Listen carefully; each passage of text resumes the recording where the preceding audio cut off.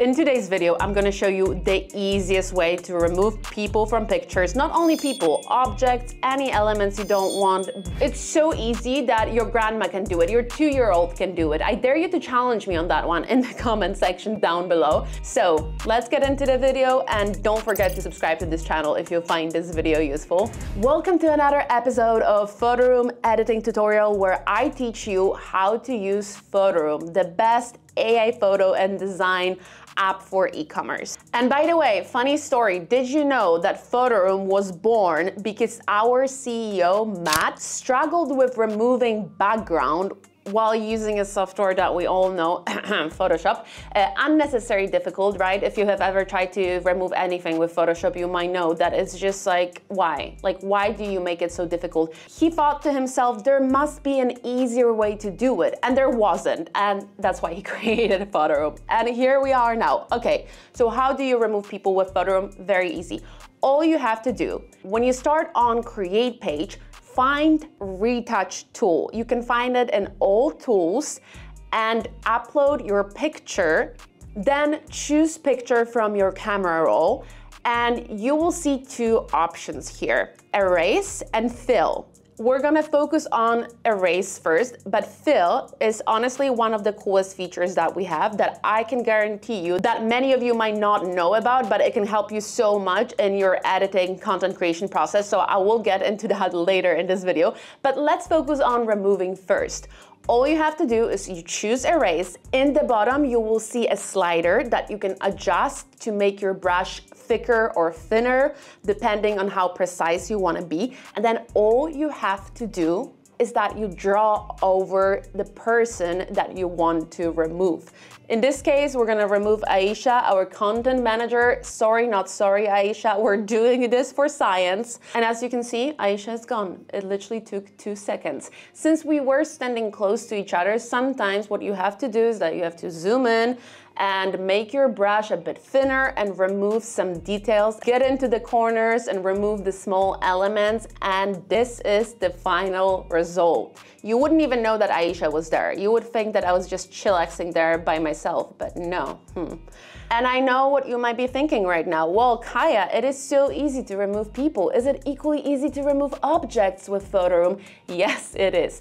Basically, the same rule applies. Let's say that we want to remove that painting from the wall because, let's be honest, it's not a very nice painting. All you have to do, again, is that you draw over the object that you want to remove or drawing all over that painting and it disappears. Magic. And as you can see, the background is white, just like the wall next to the painting. So Photoroom is really good at analyzing your image and understanding what you want. And I know that this example might not seem like a very difficult one. What happens when the background is more complex? So let's take this image with a lot of little details, lots of palm trees. Can we remove that man from this picture and still make the picture supernatural? Yes, we can. All you have to do is draw over that man, the man disappears, and as you can see here, again, Photoroom analyzed the background, it understood that what you need, where the man used to be is palm trees, so it looks supernatural and realistic. You can also use retouch to remove parts of an object. So let's say you're shooting a campaign with a model who has a little tattoo, but you don't want that tattoo. It doesn't have to be a little one, any tattoo. Anything you would want to remove, all you have to do is that you zoom in on the object, you use the brush and you draw over the element that you want to remove and it disappears. Another great example is removing people from the background. When you're shooting a campaign, when you're making content for social media, you might want the full focus to be on your product, your model, your object, or you might also want to consider protecting people's privacy. Whenever you're shooting out and about in the streets, on the beach, there's most likely gonna be people in the background that you don't want. So again here, what you have to do is that you zoom in and you draw over people that you wanna remove. And here is the final result. As you can see, looks supernatural. And of course, this can be a super cool tool when you're vacationing in Bali and you want people to think that you woke up that early for that sunset, there was no people on the beach, and you just remove them all. But those who can actually really benefit from retouch is mostly businesses, business owners, or e-commerce shop owners. Because when you're shooting your product, you really want A, the full focus to be on your product. B, removing unnecessary elements will make your image more visually appealing and better pictures sell more products. That's just a fact, right? And C, you also maintain your professional image as a business when you create beautiful, clean images without any unnecessary clutter. Okay, so remember when I told you that retouch has actually two functions. One is erase, removing object, but the other one, fill, what is it? Well, I'm so glad that you asked because I'm gonna show you right now. So let's say that you regret your choices, just like I regretted my choices in life of removing Aisha and that painting. After all, Aisha is pretty great. That painting wasn't that great, but you know what? Now I'm just looking like a loner slash loser standing there by myself. What do I do with this? I could bring Aisha back or I could just use AI fill to add something. This is what AI fill is for. You can add objects or people to your image. All you have to do is that you draw the same way as you do with erase, but here you're just drawing a shape of the object that you want to add here. So I'm gonna draw a plant and I say plant in a pot I will have free option of different plants. I can also change that or pick one that I want and ta-da, there is a plant in my picture. Yes, it's, it's like magic. You can actually really do that. But what if I decide again that the, the random plan in the middle of my picture maybe wasn't the best idea? Let's play with art. So I will draw a shape of a painting on the wall and I will say modern art painting. Photoroom will give me a bunch of options of AI generated art that I can put on the wall. I can pick one and this is the final result. As you can see, this painting is even better than the original one and it looks super natural. So of course, messing around with Photoroom, removing unwanted objects, unwanted people from your life, like your ex, you can remove him or her from your pictures, right? Can be fun, can be useful as well. But this tool is actually mostly useful for business owners and e-commerce sellers. Why? Because you can basically create a whole product photo shoot with these features. Let me show you an example. You own a jewelry business and you took a picture of your product, your earrings.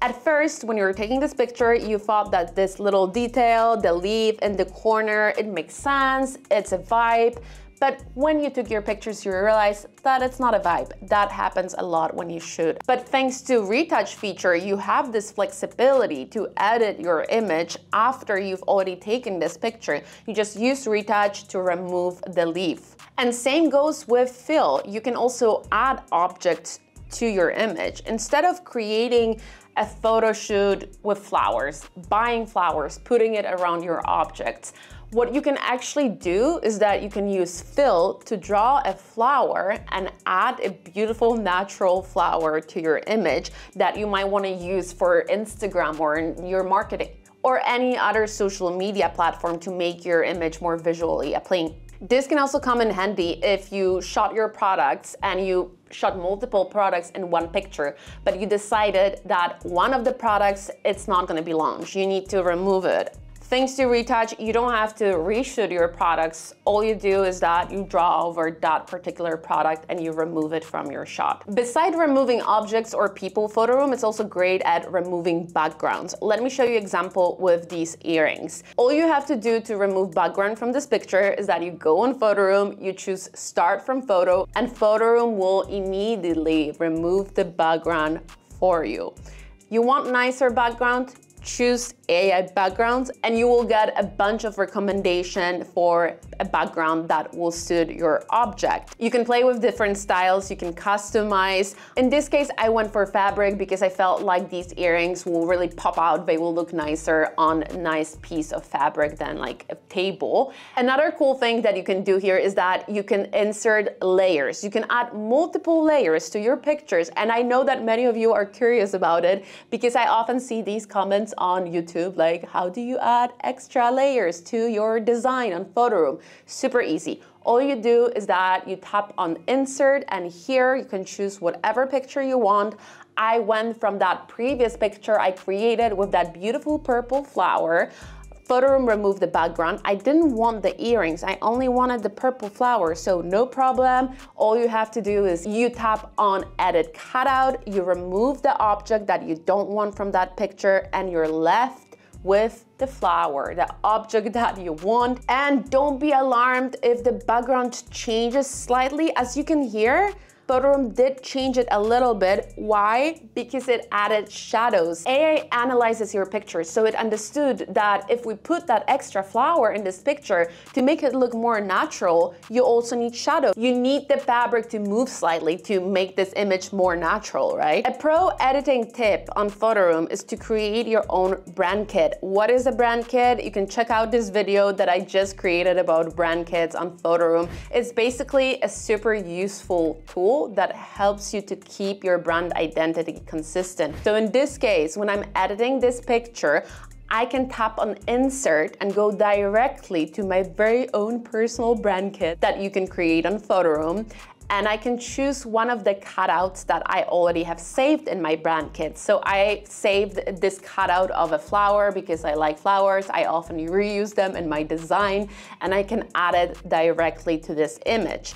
And I can also add to my brand kit as I go. So for example, the name of this brand is gonna be Zoe. I want to save that text, the cutout of my text, name of the brand, Zoe, in my brand kit because if that's the name of my brand, I will most likely reuse it a lot, right? So I don't have to like write it every single time, choose the right font, choose the right color. No, I just put it in my design. Then I tap on it and you will see a little brand kit icon that will appear and you tap on that, you choose that and you save your text cutout in your brand kit so you can reuse it very easily in your future designs. You can find brand kit in your content in the very bottom left and you will see brand kit in the left upper corner. As you can see, I already created my brand kit and the text cutout that we just added together is already in there. If you found this video useful, don't forget to subscribe to our channel. And if you have any other questions, just leave me a comment down below. I'll personally answer it.